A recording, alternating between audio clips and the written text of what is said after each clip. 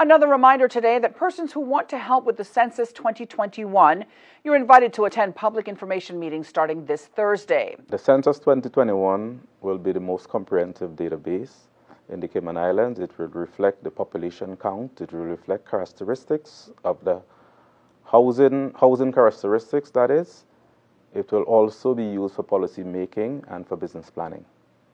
The first meeting will be held at the Theoline McCoy Primary School from 5:30 to 7 p.m. on Thursday.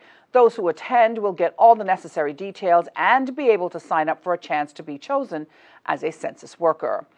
Well, first of all, we are looking for honest, trustworthy, and respectable persons.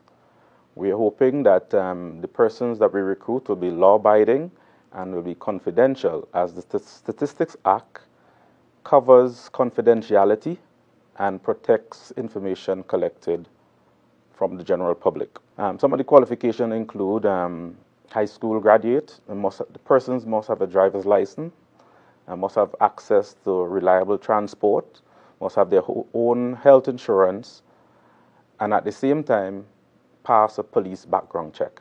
Now, if you've already signed up, you're asked to attend uh, these meetings. Those who are selected will then undergo training over several weeks to become either enumerators or supervisors in their various districts across the Cayman Islands. We are looking to recruit approximately 420 workers. 410 of them will be field workers, while the other 11 will be area coordinators. The census workers will be the interface between the household and the ESO. They will ask the survey question and they will collect the responses, and that data will then be edited and transferred to the ESO. Enumerators will be paid approximately $40 per questionnaire, which is equivalent to about 50 cents per question, while field supervisors will be paid $3,500 at a flat rate.